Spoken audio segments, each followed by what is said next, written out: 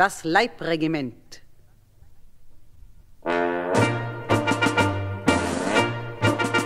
Der einst dem Feind die Hosen klopfte, der hieß wohl Gustav der Verstopfte. Die Soldaten, ja die taten für den Fürsten alles ganz umsonst.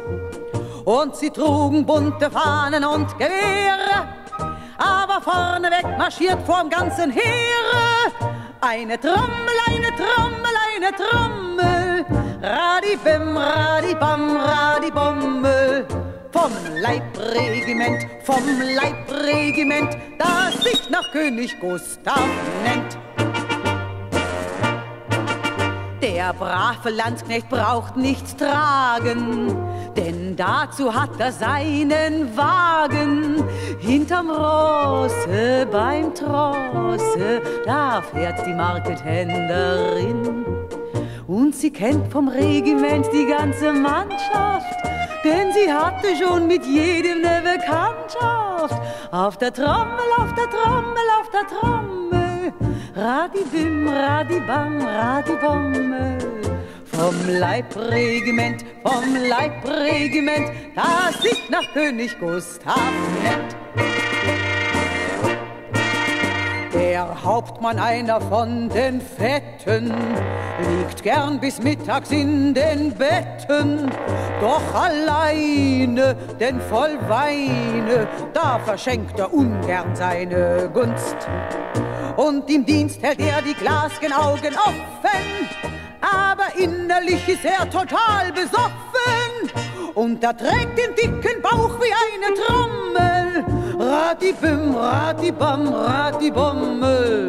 Vom Leibregiment, vom Leibregiment, das sich nach König Gustav nennt. Und so marschiert die ganze Bande Jahr ein, Jahr aus durch fremde Lande.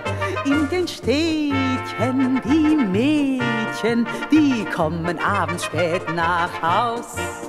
Der Soldat braucht niemals eine wiegen, immer sieht er 20 Kinderköpfchen liegen.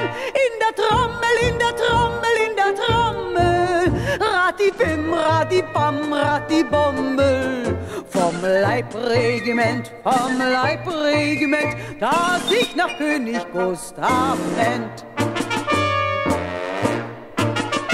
Es sterben auch mal Generale, die Trommel ruht im Arsenale. Im Gehäuse die Mäuse, die führen das alte Leben fort. Und sie fressen und sie lieben und sie raufen, machen Junge und sie streiten und sie saufen. In der Trommel, in der Trommel, in der Trommel, Rattibim, Rattibam, Rattibommel.